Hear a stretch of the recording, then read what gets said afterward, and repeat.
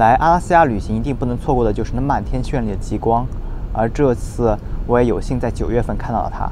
这期视频我就来讲讲这张照片背后的故事。如果想要看到极光，第一步就是去查看极光预报。当极光指数大于四的时候，那么能看到的可能性非常大。而我们非常幸运的是，去的那三天极光指数都是六。本来我以为我可以看到非常美丽的极光，但是后来发现自己想的太简单了，忽视了最重要的一点因素，那就是云。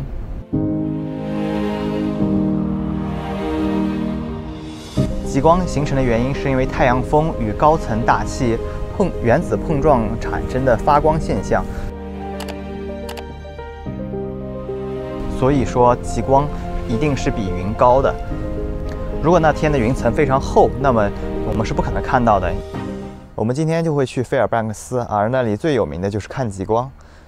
不知今天能不能看到，因为大家看，全是多云，可能只能从缝隙中看到一些极光。晚上，我们一路开车从迪纳里国家公园到费尔班克斯。本来想在那里看极光，但是后来发现云层太厚，甚至后来开始下雨。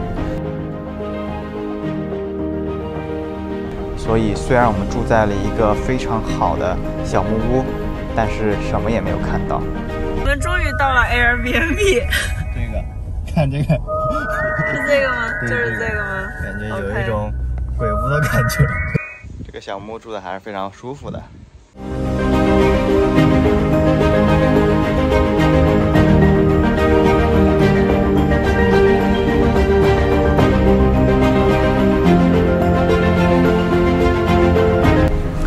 第二天，我们开车回到了安克雷奇。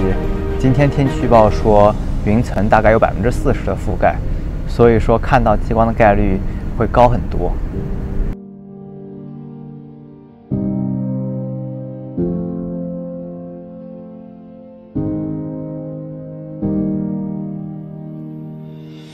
我们首先去了安克雷奇西北角的海边，在这里，因为面朝的是一片大海，所以不用担心。看极光的时候受城市的灯光所影响。我现在到了第一个在安克雷奇观赏极光的点，在机场旁边。但是在我的后方可以看到一个常绿的绿灯，让我们不禁想问：我们看到的绿色究竟是这个灯发出的，还真的是极光？所以我们决定换下面一个地点。这个地点对于欣赏安克雷奇夜景非常不错，但是因为城市灯光实在太强了，真的一点都看不到极光。于是我们只能回到了第一个点。当我回到第一个点的时候，已经凌晨一点半了。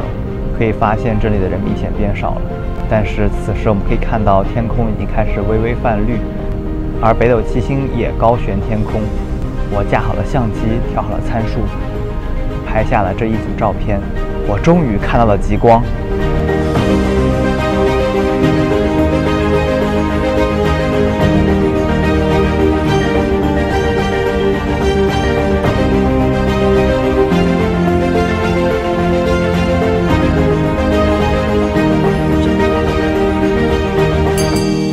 期视频到这里啦，如果喜欢的话，请记得我点个赞以及关注，我们下期再见，拜拜。